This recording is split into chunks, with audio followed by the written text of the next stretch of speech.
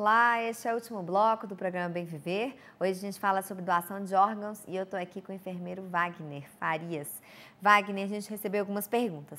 Sim. Vamos responder elas primeiro, tá bem? Nossa. Depois a gente continua o nosso papo. A Roberta do Alto da Cruz falou assim: que ela tem uma amiga que estava na fila de espera por uma medula óssea. Ela conseguiu um doador compatível recentemente, logo será transplantado. Wagner, recuperação pós-transplante é demorada?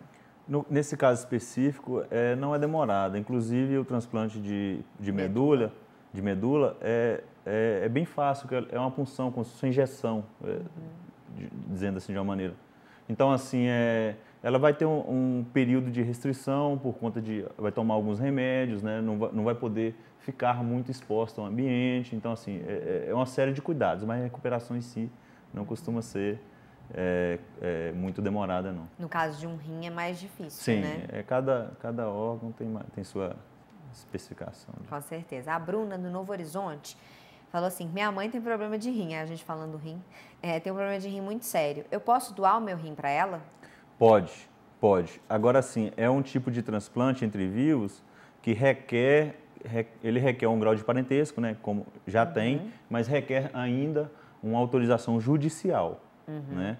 Ela já deve fazer algum acompanhamento né, de, de um, de um especialista. Então, assim, ela tem que conferir se esse especialista ele é cadastrado no sistema de transplante, se não, ela procurar algum que seja para é, para é, né, poder, poder é, fazer o transplante.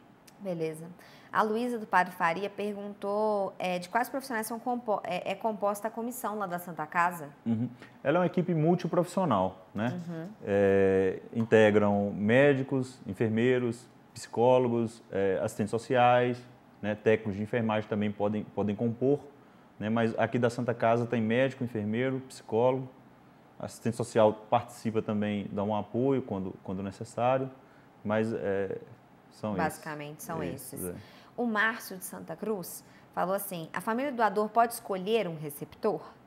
Não pode. Não pode, né? Não pode. É, todo órgão que é doado, ele é, ele, ele é né, enviado, direcionado para né? sim, para a central, que é a central de notificação, é a CNCDO, né, que é a nível estadual, e lá é rodado um ranking e, e, e, é, e, é, a partir desse ranking é que são selecionados os, os receptores. Independente se for família, não, não tem como. Não tem Existe como. aquele caso que eu falei antes é, do doador do, entre vivos. Vivo, né? Mas quando é ah, falecido, né? Falecido não, é, é, é pela lista mesmo. Uhum.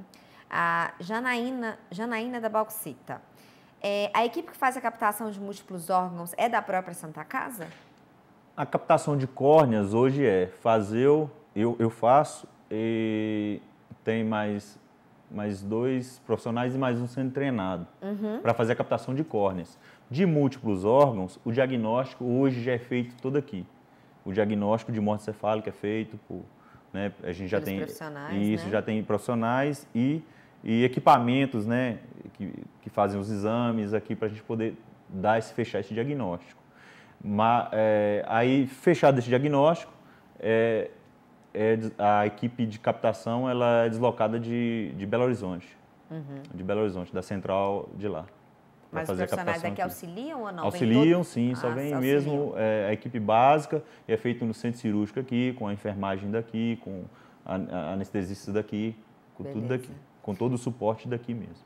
Júnior de Saramenha perguntou se a família é preparada psicologicamente antes da doação. Como que é feito esse processo de abordagem à família? que ele falou que ele tem muito interesse em ser um doador, que ele já deixou a família dele ciente. Sim, sim. Hoje mesmo teve, na, na captação que tivemos hoje, é, a psicóloga né, estava presente, deu todo o apoio. Assim, é um processo um pouco rápido, porque é, até seis horas a gente tem que efetivar essa captação, caso a família seja favorável né, à doação. E assim, é um processo assim mais rápido. Assim, não existe um preparo é, aquele preparo assim é, é, bem anterior, né? Porque é uma condição que é, é uma coisa que ocorre assim de forma mais rápida e, e, a gente não pode falar sobre sobre captação, sobre doação de órgãos de um paciente em vida. Uhum. É preciso ter a condição para a gente poder iniciar esse tipo de conversa. Uhum. Beleza. Uhum. A Isadora do Morro Santana perguntou como é que ocorre a recomposição do corpo do doador é, por exemplo, no caso da doação é, da córnea. Ah, Ela falou colocou dos olhos, mas da córnea, né, sim. no caso. É, é porque, na verdade, é, na captação de córneas é retirado o globo ocular mesmo, uhum. inteiro, que ele, é, ele, é processado no banco de olhos de, de Belo Horizonte. Isso ocorre em qualquer lugar, não só aqui não. E essa, é, essa reconstrução, ela pode ser feita de duas formas. Existe uma, uma prótese de isopor, né, que pode ser colocada no, do mesmo tamanho do globo ocular, ela é de vários tamanhos. Ou você pode fazer também com, com, com gás, a gente costuma fazer aqui com gás, que, ela, que evita também sangramento.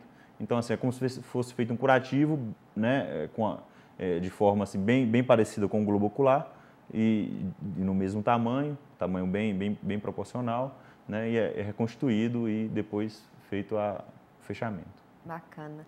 E você tem notado se as pessoas, os familiares, eles têm aceitado mais a doação nos últimos anos? Como é que você está vendo Tem, isso? eu acho que tem evoluído positivamente, sim. Uhum. Ainda, ainda existe é, uma grande quantidade, um grande número de recusa né, de negativa familiar após entrevista. Uhum. É, mas é, os números gerais de, entrevi é, de entrevistas positivas têm crescido. No caso da Hoje, é mais simples? É um processo mais simples, mais é, rápido. Mais rápido, né? É, então, com, talvez com os familiares mais... ali que estão presentes ali mesmo na, na hora é, do, do, óbito do paciente, que está ali acompanhando.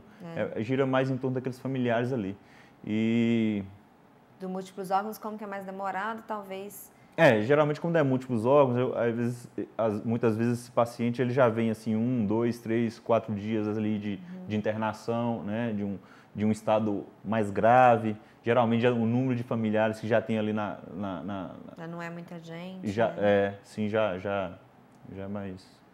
Beleza. Uhum. Você tem algum exemplo bacana, bacana que eu digo assim, um exemplo para dar para as pessoas? É, não, já, de algum eu... caso que você vivenciou? Assim, é, essa questão da lista mesmo, por exemplo, é, que você havia me perguntado, eu lembrei de um caso, é, de, uma, de, uma, é, de uma captação que eu participei, onde o, o cirurgião, né, quando estava retirando o coração, ele, ele, naquele momento ele já, já observou que aquele coração não, não, não iria servir para um receptor por conta da caixa torácica, né, do, do, do, local onde do espaço do coração e a, o biótipo do, da, da, receptora já era bem inferior ao, ao, coração que foi retirado. E aí ele já pediu para deixar preparado o segundo da lista. Uhum. Assim foi uma, essa questão também é, sempre ocorre também, acaba ocorrendo assim na prática. Então, assim, mesmo fazendo muitos exames, foi na hora que, que abriu e viu mesmo que ele foi capaz de, de, de ver que não, não serviria no, no receptor que tinha selecionado como o primeiro da lista. Isso mesmo. Uhum. Wagner, nosso programa então chega ao fim. Eu queria te agradecer muito a participação. Ah, eu que agradeço a vocês pelo convite. Uhum. Né? Estou disponível a retornar sempre que, que for chamado. Muito, muito é um obrigada. prazer. Esse é o trabalho, esse trabalho de divulgação também é, é, é, é, inclusive é um trabalho que a gente tem que fazer mesmo, né, de divulgação, de conscientização da população a respeito do tema, de retirar as dúvidas, né, existem muito, muitos mitos. Acho que hoje já já já, já, já tem reduzido e, e a gente vai tentando multiplicar isso aí. Com certeza. Viu? Muito obrigada, Wagner. E o Bem Viver termina aqui. Muito obrigada pela sua audiência. Até mais.